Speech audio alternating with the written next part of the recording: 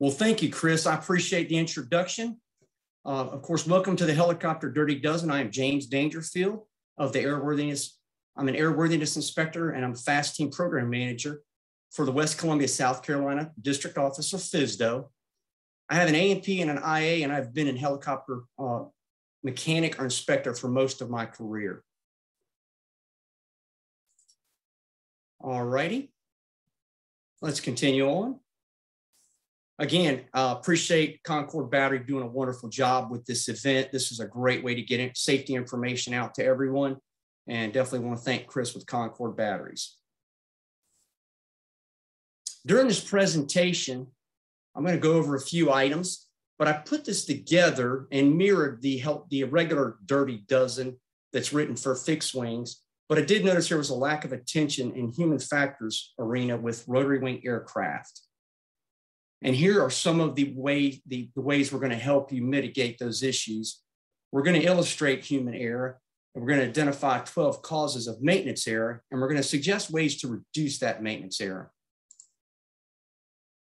So I want you to know I couldn't find any good pictures of anyone ejecting out of a helicopter. So I had to use this fixed wing example. Human error is both universal and inevitable. This means that everyone will make a mistake sooner or later. In fact, the best people often make the worst mistakes. When learning of an aircraft accident caused by human error, it's common to think the person involved is somehow deficient in skill or character, while we, on the other hand, are well meaning, motivated, experienced technicians. We just wouldn't do something that stupid. When we think in these terms, we discount the moral of the story and miss the lesson in it. This example um, I was using, let's see, I messed that one up. Uh, the example I'm using here is about the F-16. Um, this pilot, I want to ask you, who do you think this pilot is? And you can tell by the aircraft that it's not a poorly trained pilot. This is actually a Thunderbird pilot, and it looks like he's made an error and had to eject out of the airplane. Um, the pilot started the loop at about a thousand feet, 100 feet lower than he should have. Before takeoff, the pilot set his altimeter to his home base field elevation, which was in Nellis Air Force Base, and his action was possibly the result of habit. The elevation of Mountain Home Air Force Base, the site of the flight demonstration, was about 1,100 feet higher than Nellis. Even though the mistake was slight, setting the wrong altimeter setting, the outcome was tragic, at least for the airplane that the uh, pilot did survive. And of course, I mentioned this earlier, does the Air Force select mediocre pilots um, for the Thunderbird demonstration team? No, not likely. They only choose the best. So take that point. You can be an expert and you can make mistakes. And I actually gave away the secret earlier. Maybe I did find a person ejecting from a helicopter modified by rotor floater. Okay, this is an April Fool's joke, and this is not actually a real, this is a doctored uh, picture. Uh, just wanted to make sure everybody was aware of that. Okay, on the next slide, I'm going to show a video, and I, while you're watching it, I want you to think of what safety gear you would wear if you were to climb this um, iceberg. So here we go. C'est bon, c'est donc.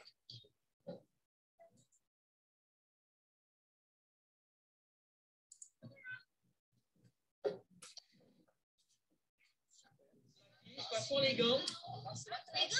Les gants Non, non.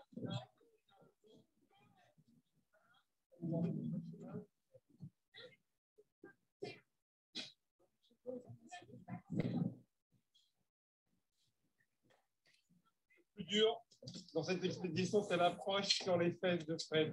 If you cannot hear the sound, that's okay. Uh, the main part of this video is to watch the video. So.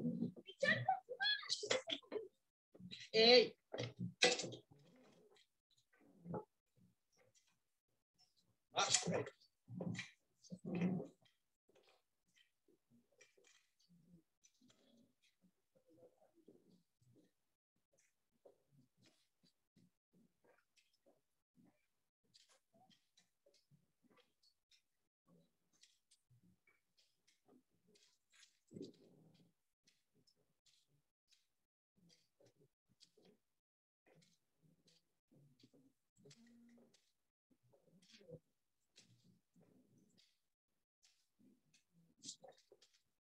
Ah, OK? Marche arrière.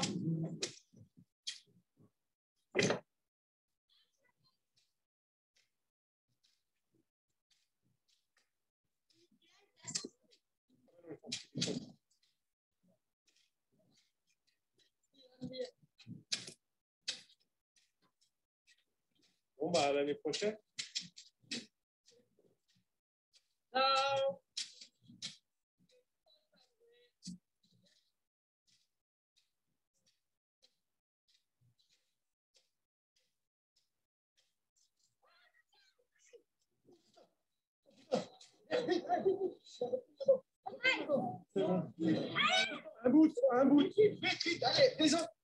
Okay, I think everyone gets the uh, the lesson from that slide. So uh, always be prepared for the unexpected, no matter what you're doing, and always think about human factors when you do it. And so here I've got um, the dirty dozen, and of course this is really technically the regular dirty dozen, but it applies to the helicopter dirty dozen. The dirty dozen is a poster series highlighting 12 preconditions for unsafe actions. In other words, factors that would influence people to make mistakes. The series of posters was developed by Gordon DuPont while working with Transport Canada. It's not meant to be a comprehensive list. And of course, you will see the posters as we go through the presentation. This is our main case study. And I want to mention a couple of things real quick this accident was chosen because it hit many of the dirty dozen human factors, but all of these organizations discussed are very professional that are trying to do good work in a safe manner. Uh,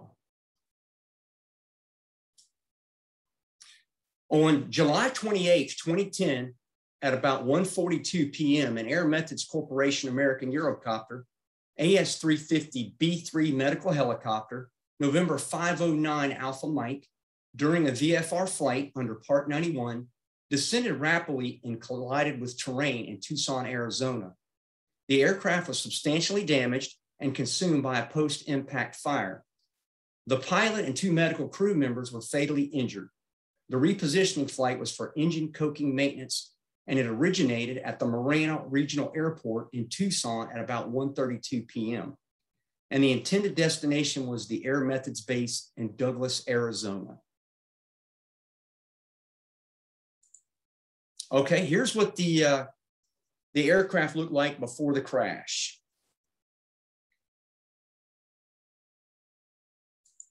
And here's what it looked like after the crash. Very devastating sight.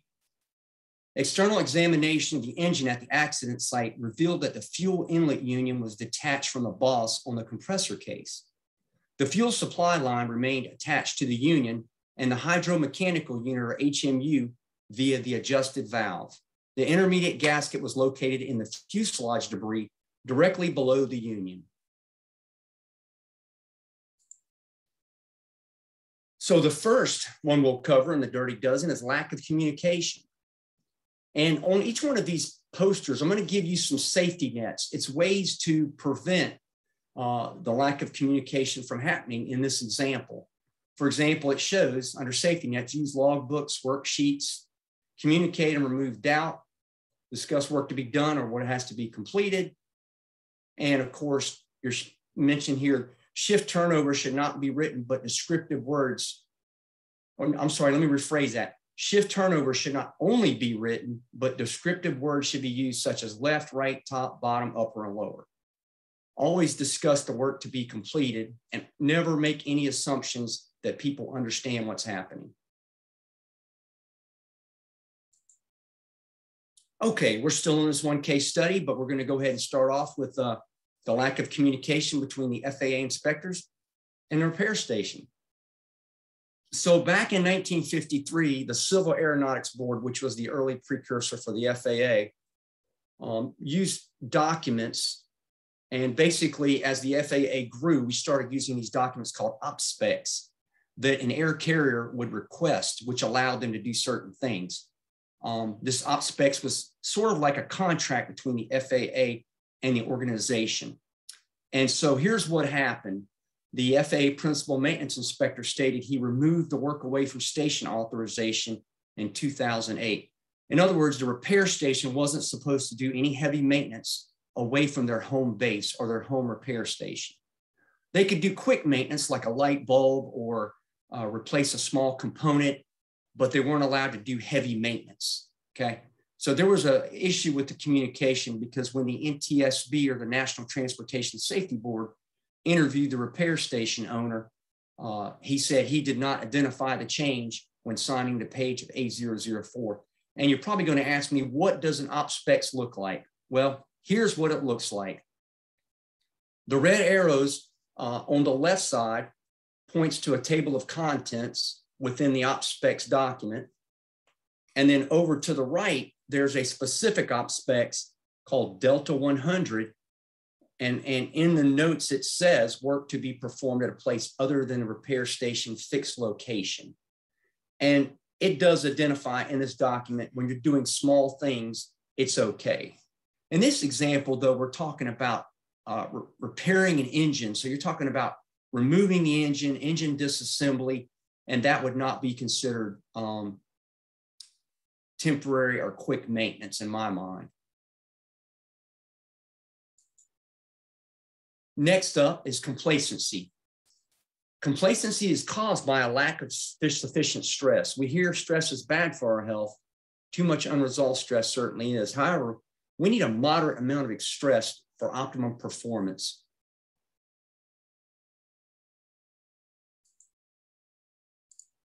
So complacency. So during this accident, when the investigation was done, there might have been complacency by the repair station. So the repair station was a turbo service center, helicopter services in Nevada. They provided levels one, two, and three maintenance service, parts and tools. The, when they were in the repair station, they would complete a work order, which would require a final inspection before the, the uh, aircraft or component was returned to service. But when they were in the field, they did not have to complete the work order package. They would just do an A&P sign off in the field um, and that was allowed according to the repair station's manual at that time. But what this meant was, is no one inspected the mechanic's work until it was completely reassembled. And there were parts that were covered up that the Air Methods mechanics were unable to look at. And I'll explain that to you here in a minute. There's actually uh, three mechanics involved. There's the repair station mechanic, and there's two Air Methods mechanics all working on this aircraft.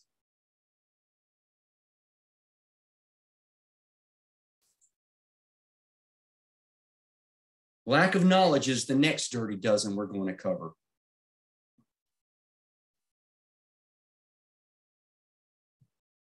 So we need to make sure with complacency, we need to make sure we have those safety nets in place, okay? Um, any kind of mistakes we make could kill someone. These are some recommendations to help prevent complacency. Of course, stay in shape, do some physical fitness, create challenges for yourself, and train yourself to expect to find a fault. Never sign for any work you didn't do. And also, if you're working with a crew like that, even if you're not used to working with them, ask them to inspect your work. That never hurts, okay? Again, next up is the lack of knowledge. So it may seem that a lack of knowledge is about being inexperienced. However, the rational point of view is that aviation is incredibly complex. No one has all the answers, and we all lack knowledge in certain tasks we're not familiar with us or familiar with. Even experienced people need to refer to up-to-date manuals and ask questions. Here's the example of lack of knowledge. So the maintenance test pilot came out here to do the maintenance check flight on this aircraft after the maintenance was completed. And he went and performed a seven and a half minute, minute um, maintenance test flight. He did a droop check, a rate of climb check, a cruise power check, a flight limiter indicator check, a flame out check, and auto rotation. Now, uh, they were able to find this out because the aircraft has a computer that records how much time he flew. And they did recover that. So the actual required time when they went to the Turbomeca tech reps they found out that it's a 30 to 45 minute flight that's required. And here are the items that are required to be checked. A hover flight, a max continuous power climb, a max takeoff power check, and a max continuous power level, flight level flight check. So as you can see by this, um, he may not have he may not have followed the maintenance manual or may have went by his best guess. The point here is, is always check the manual if you're not sure how to do something. That, that pertains to pilots and mechanics.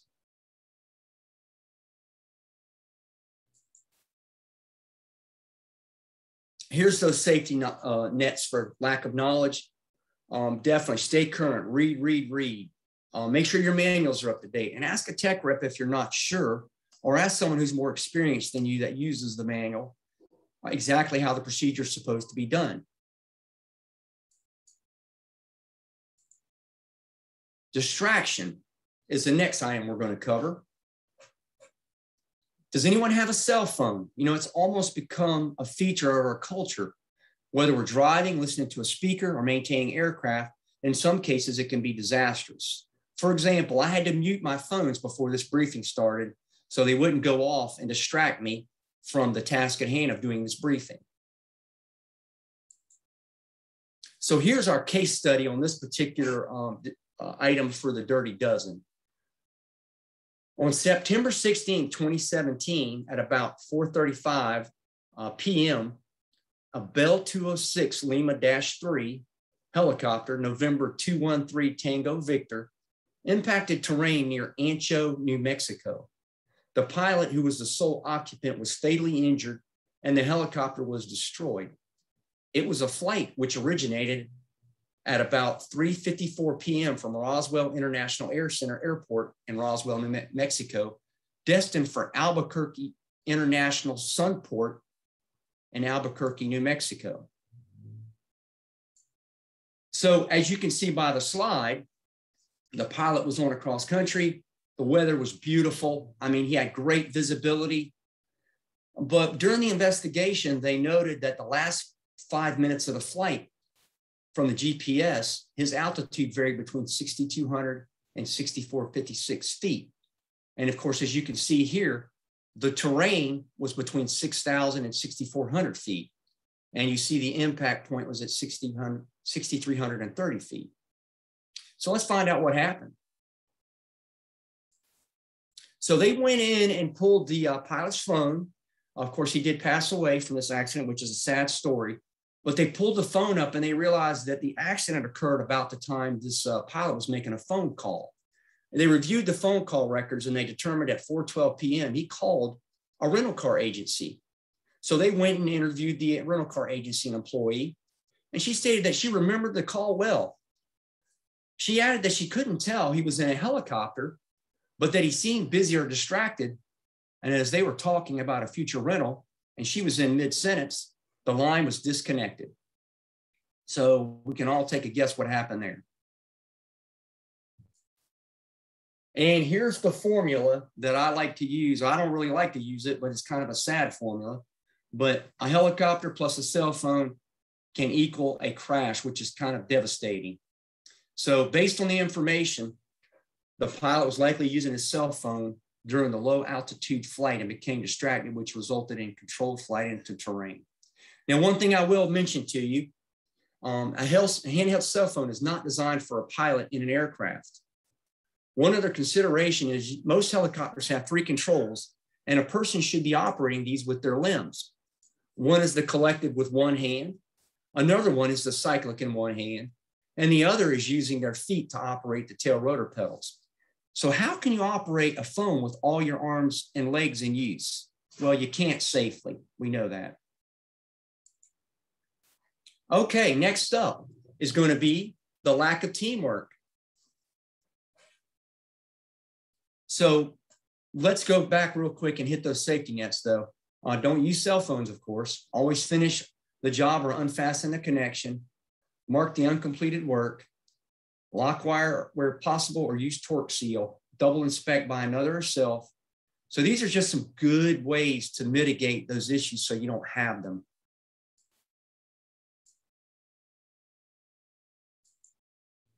Okay, next up is lack of teamwork.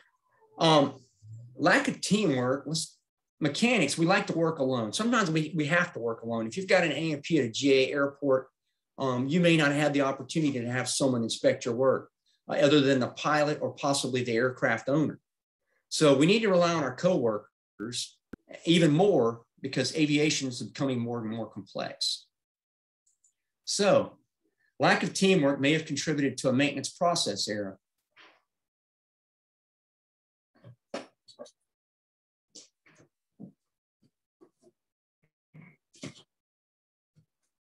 Sorry about the pause there. We're back to our original accident case. Uh, so here's exactly what happened. Um, between July 24th and July 26th, the accident engine was disassembled first, and the mechanics realized that they would need additional parts and tooling to complete the work. The accident engine was set aside, and the second engine was disassembled and the fuel manifold replaced. As the Air Methods mechanics completed the work on the second engine, the HSN or repair station technician replaced the fuel manifold on the accident engine. During the work on the accident engine, module three was disassembled, the fuel injection manifold replaced, the engine reassembled by the uh, HSN technician, including the fuel inlet union. The engine was reinstalled in the helicopter by Air Methods maintenance personnel. And the HSN technician inspected his own work as an HSN technician working away from its fixed location. He had the authority to do that. So here's my question to everyone. What would have happened if the repair station mechanic had asked the Air Methods mechanics to check his work before assembly? Well, this probable accident probably would not have happened. These are the as received accident parts are displayed in the upper view in figure one, okay? Um, figure one, of course, is in the top right-hand corner of the slide. The lower view shows a closer view of the area where the fuel line with the jet union is attached to the diffuser assembly with a copper gasket between. The components were intact, but reportedly found disconnected at the jet union to the diffuser connection. Note the bolts, screws, and nut hardware was not found at the accident site.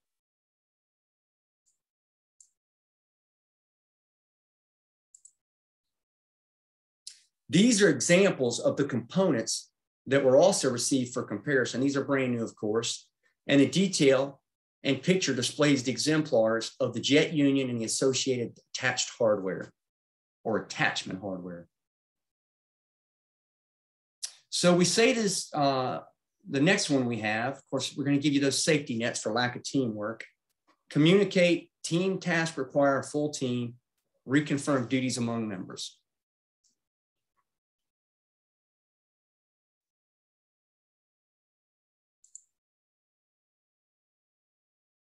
Next, we're going to cover on the Dirty Dozen is fatigue, and it's a constant threat to all of us.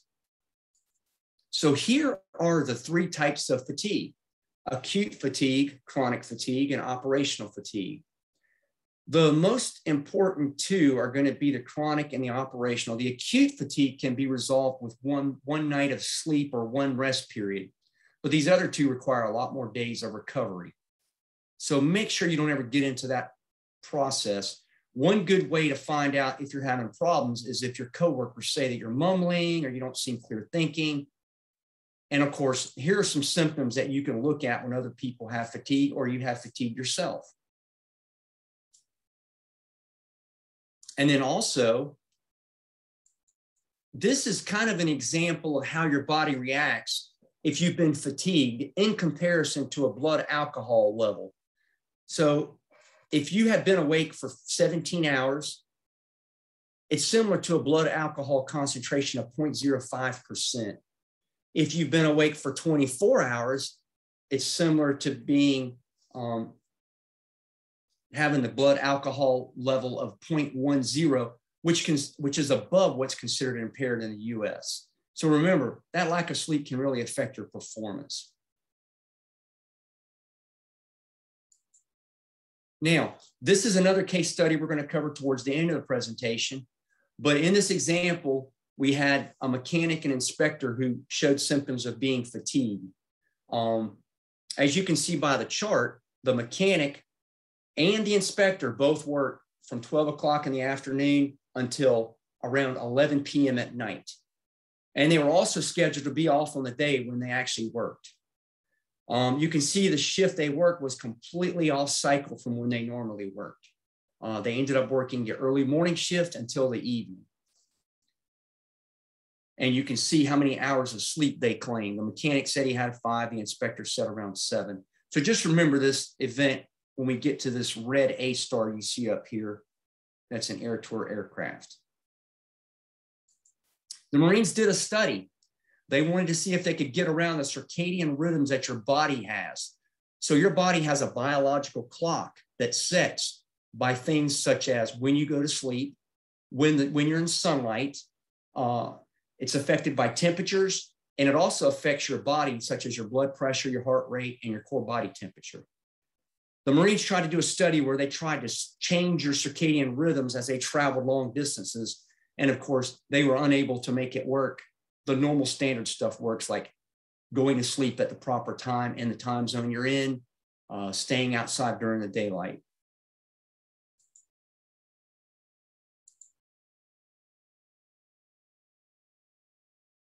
So, some safety nets. Here are those safety nets. Look for symptoms in you and other people. Try not to do complex tasks at the bottom of your circadian rhythm. And sleep and exercise regularly.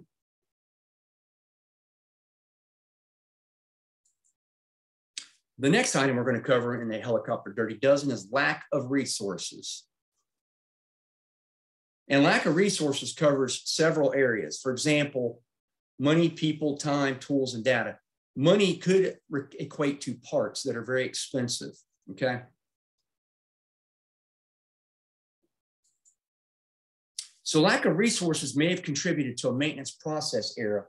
So that error could have been uh, prevented. And here's why. When the engine was disassembled, or let me say this, the accident engine was disassembled first. And then the mechanics realized, you know, this is all three of them realized that they would need additional parts and tooling to complete the work. The accident engine was set aside. The second engine was disassembled and the fuel manifold replaced. As the Air Methods mechanics completed the work on the second engine, the HSN or repair station technician replaced the fuel manifold on the accident engine by himself.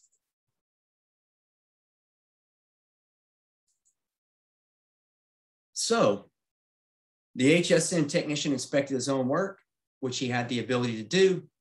The Air Methods mechanics stated they did not specifically inspect the repair station technician's work, but they did inspect the engine after it was installed in the helicopter. And operating under Part 135, they were not required to get an independent inspection of maintenance. And let's go back to that question you see on the bottom of the slide. What would have happened if they had the correct resources? Well, as you know, they may have all three worked together on both engines and they would have been able to catch that mistake. And here are those safety nets that you can apply. Make sure you've got all the parts before you start aircraft or aircraft on ground or AOG. Order those parts ahead of time. Uh, get part sources and arrange for pool or loaning of tools or parts. And always make sure you maintain the standard. Next up on the dirty dozen is pressure. Now, one thing I'll mention to you is a certain amount of pressure is appropriate, but too much pressure can cause a technician to make a mistake. If there's a generic hazard in aviation maintenance, it would be pressure. It would be pressure to produce. Pressure to produce causes a drift to dangerous methods. And so most businesses are in business to make money and they're going to pressure you to get the job done quickly. Um, some of that's understandable, but you have to make sure it never gets to be too excess or too excessive. So we're back to our original case study. And here's an interesting fact. Mechanics felt pressure after the first engine run up after maintenance because the Air Method CEO was coming in for a visit. The Safford base was out of service, which meant no backup aircraft was available to use at Douglas.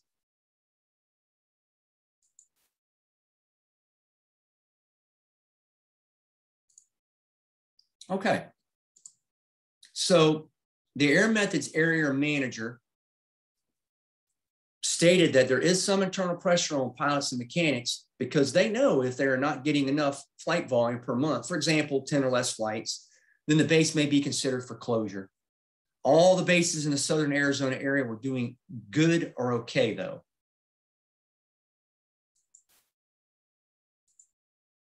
Okay, and in continuation along with this one, with pressure, we're going to talk about a V-22 Osprey. This is an old accident back in 1992. The Osprey was a new aircraft. Um, this is uh, the court of inquiry. Notice the FAA does not investigate military aircraft accidents. It's investigated by the branch that owns the aircraft. And in this example, this may have been, uh, I'm going to assume the Navy or the Marines. Um, Court of inquiry said that the fluid leak into the right engine may be attributable to a maintenance error of installing an oil seal backwards on the torque meter shaft. But the report added that it could not be conclusively determined that the reverse oil seal caused the leak. Thus, the possibility of other leaking seals or sources could not be ruled out. In addition, the report said grounding, ground testing with incorrectly installed seals did not show significant leakage, but a leak did occur on another V-22 with an incorrectly installed seal, according to a government witness. Maintenance error cannot be assigned with certainty, but it considered to be a probable cause factor. One member of the Court of Inquiry noted that the system used to conduct maintenance at Eglin lacked organization, defined responsibilities, and a formal reporting and documentation structure.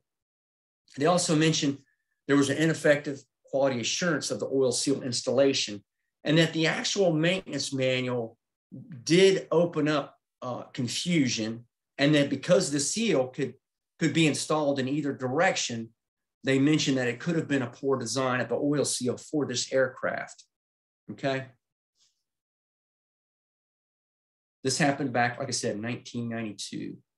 So here is a diagram of where the oil, uh, oil leak occurred. You can see the right engine is um, highlighted there or darkened. That's where the oil leaked into the engine and the engine failed.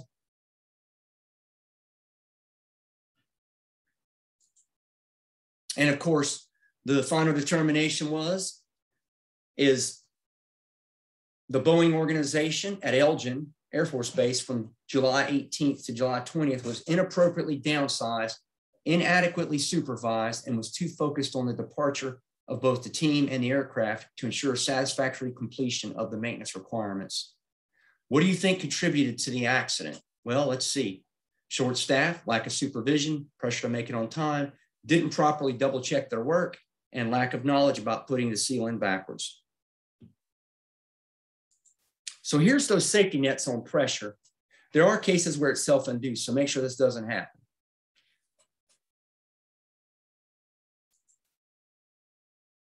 All right, next up, we have lack of assertiveness. Mechanics as a group are not as assertive as we should be. We like to fix the, air, the uh, aircraft and lead the conflict toward the managers. We don't like having people in our face. Our culture is can do. And I agree, that's kind of what we, the way we think. Here's a chart about assertiveness. Now you're going to see another chart here in a minute, and a lot there's a lot of the same elements in that second chart. Um, you're going to notice over here on the left that you've got high and low performance, and on the the bottom you have low, passive, and aggressive on the right. Okay, and then up on the top you've got assertive, both parties' rights. So in this case, um, notice the range between a passive and aggressive is along the horizontal axis of the chart, and performance is along the vertical. So I just described that. Assertiveness resides on this continuum between the passive and aggressive. The one pole is passive.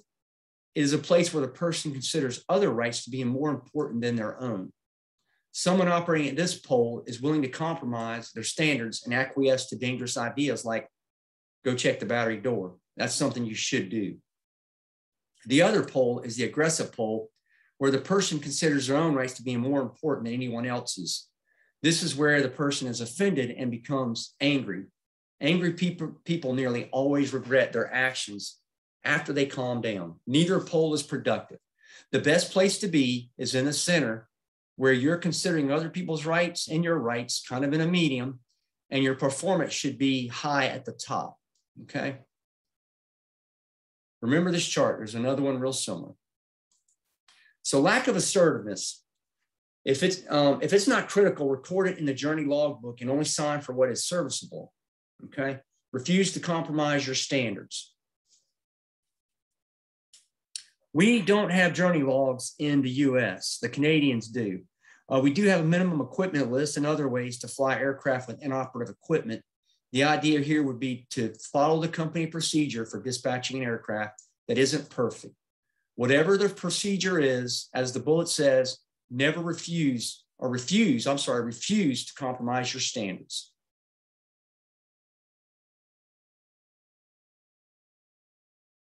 Um, the pictures you see on the slide, the top right picture is the crash in Tenerife, Spain.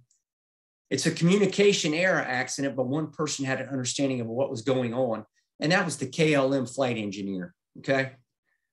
He was asking the captain, Is he not cleared then? Or clear? After repeating his question, the captain answers emphatically, Oh, yes. Well, the airplane wasn't clear, and you can see the disaster that happened. It's not the most assertive of statements, certainly not the cause of the accident, but who knows? Had the captain been in the frame of mind to listen to the engineer, and had the engineer been more confident, then perhaps the accident would not have happened. The next item in the dirty dozen we're going to cover for helicopters is stress. Now, I used to think that stress was bad, but believe it or not, some stress is good. And let me cover some things here. So, stress is a blessing and a curse. It's a blessing in that it motivates us to perform. Why do we do anything at all? We experience some kind of pressure to compel us to move. It can be pleasure or pain, but if it's stress of some kind, we hear that stress is bad, but a moderate amount of stress can help us to perform at our optimum level. This is an inverted U, and it's similar to the assertiveness chart. Notice that the level of stress is along the horizontal axis of the chart and performance is along the vertical axis. If stress is low, it causes boredom and complacency. If stress is at a high level, then it causes fixation and confusion. For maintenance folks, it's probably a matter of confusion. I'd hate to think that a maintenance person would become so stressed that the survival instinct would kick in and he would freeze like he was facing a bear. A moderate level of stress is appropriate. It causes a person to be prepared and ready to perform. A moderate level of stress may be a person supervising, giving the order to get busy. So here are some safety nets involving stress. Be aware of how stress can affect your work. Stop and look rationally at the problem.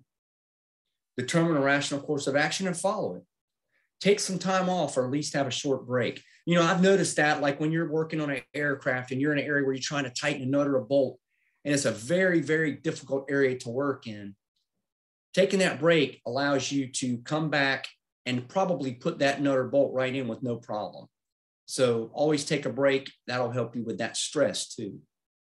Discuss it with someone and ask fellow workers to monitor your work and exercise your body.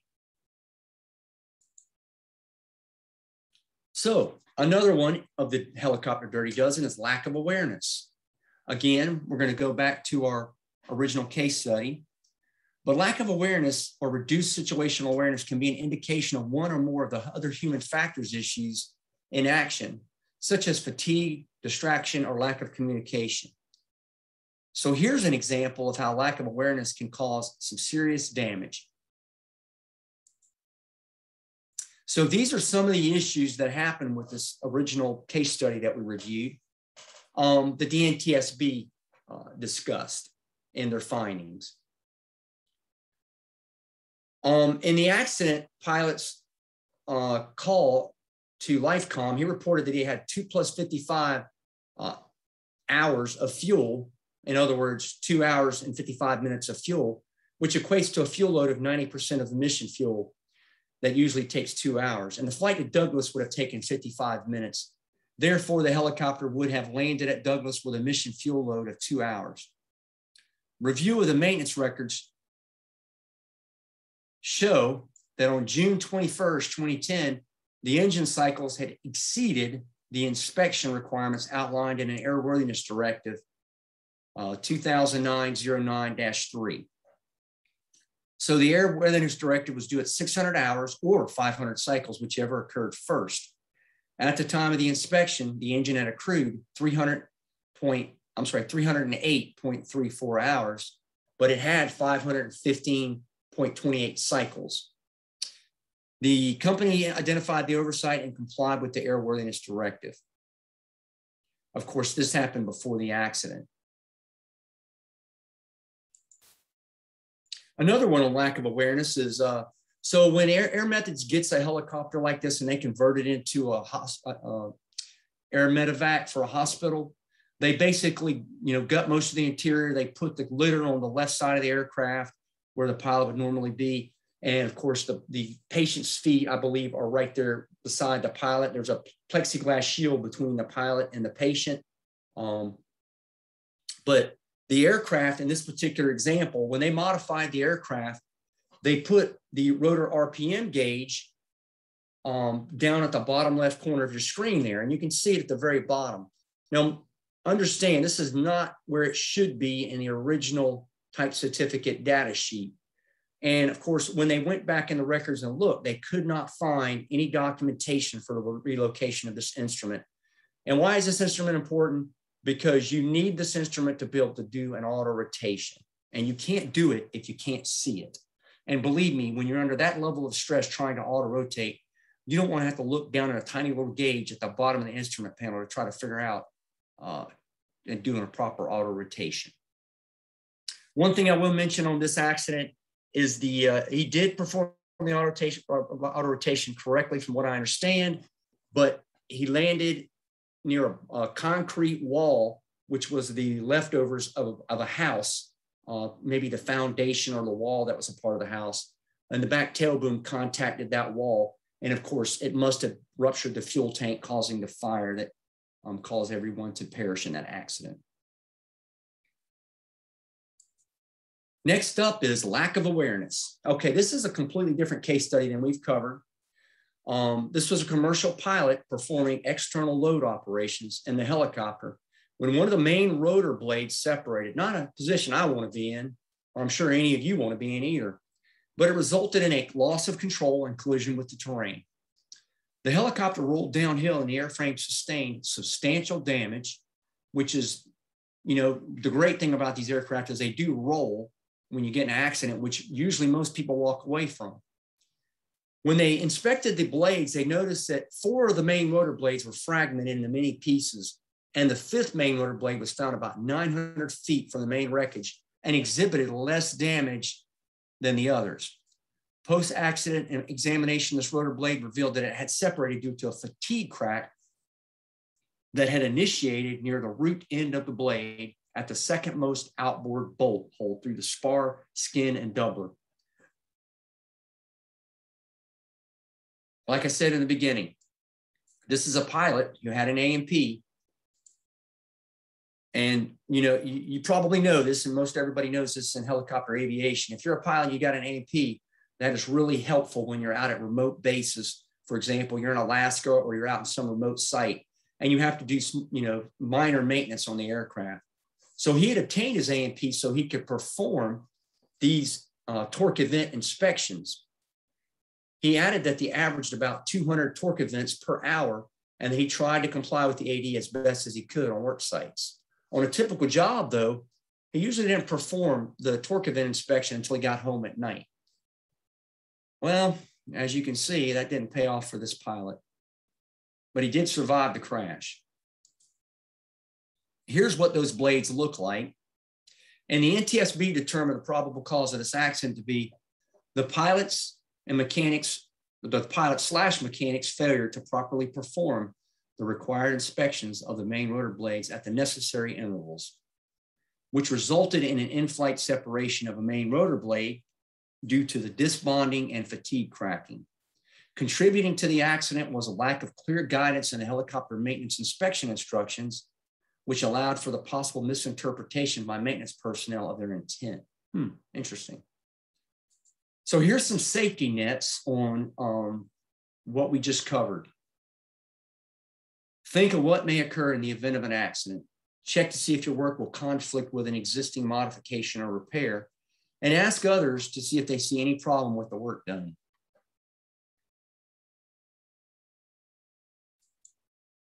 Okay, the final case study that we're going to cover is norms. Um, norms, I, I, like to think of this as tribal, um, tribal knowledge. We're all guilty of it, uh, but basically you're learning from a person and not a manual or a procedure, uh, which is what you should do. And in the context of the Dirty Dozen, um, a great example, of course, is our group has a better way to do this job than a published procedure. It could be considered tribal memory, unwritten rules enforced by the group, peer pressure, or habit. In the case that someone decide to reuse a castellated nut that was worn out and would not have come loose if they would have installed a cotter pin.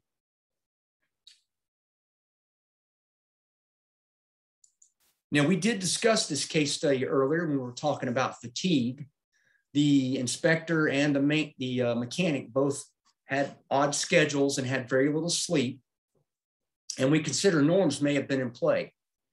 Improper use of a connection hardware began a chain reaction that led to a crash of an AS350 or AStar on a sightseeing flight, the NTSB states.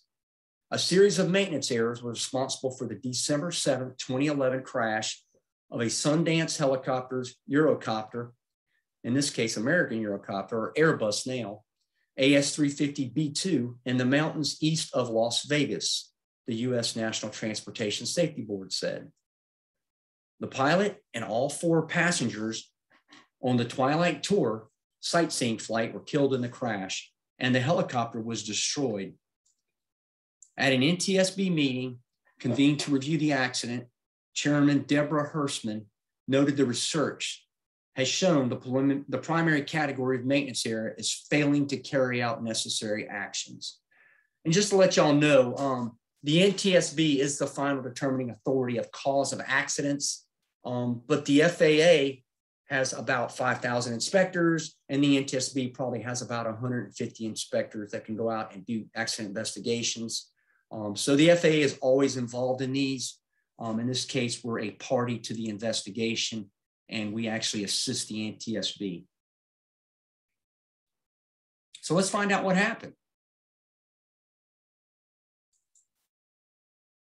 So this is an example of the part and what it should have looked like when they did the maintenance. Um, they did the maintenance, and we're going to ask that question. Did the organization reuse, because you see a self-locking castellated nut there with a cotter pin. Did they reuse the self-locking nuts regularly without checking the self-locking serviceability, or I refer to it as drag torque. Um, were norms in play? We may never know. And when we say norms, was the organization so used to reusing these nuts that they didn't give it a second thought when they did it? We don't, we may never know that. Let's go ahead and see what this item should have, what it should have looked like we see, but we want to see what it looked like at the accident scene here in a few minutes.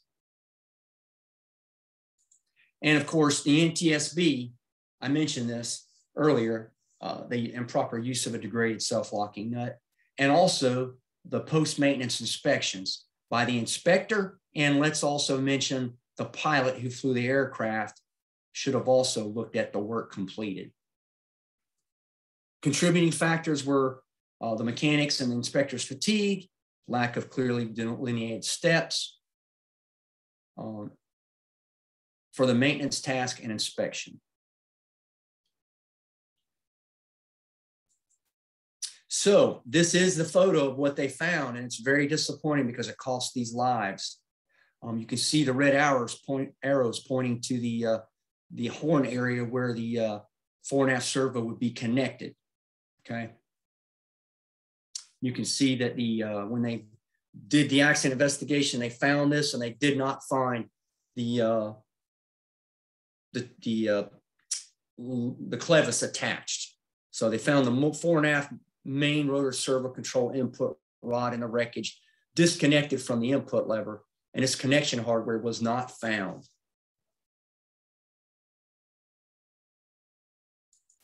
So here's what I'll say norms or tribal knowledge always work per the instructions or have the instructions changed. Be aware that norms don't make it right. We all know you don't reuse a castellated nut that doesn't have any drag torque left on it. And we also know we need to make sure we double check our work with that cotter pin. So these are the dirty dozen. It's a catchy title, but are there possible there are more than 12 human factor issues? I'm sure there are. But these are 12 that are meant to stimulate the human factors discussion. What about illness and emotional issues such as anger, pride, or fear? What about drug and alcohol use? These are all items you need to consider. Face reality. What you do can't cause someone to die if you're not careful. Also, I'd like to mention the Charles Taylor Award. Most people don't know who Charles Taylor is.